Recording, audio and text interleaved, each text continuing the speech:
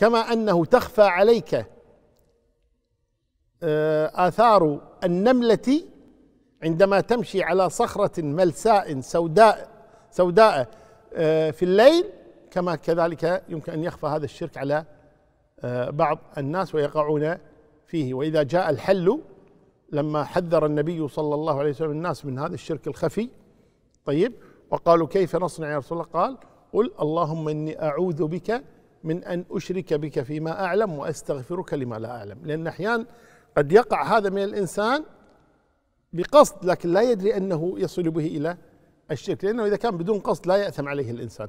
لكن كما قال النبي صلى الله عليه وسلم إن الرجل يتكلم بالكلمة من سخط الله لا يلقي لها بالا تهوي به في نار جهنم سبعين خريفا فالقصد أن الإنسان حتى يسلم من أن يكون وقع في مثل هذا الشرك يدعو بهذا الدعاء.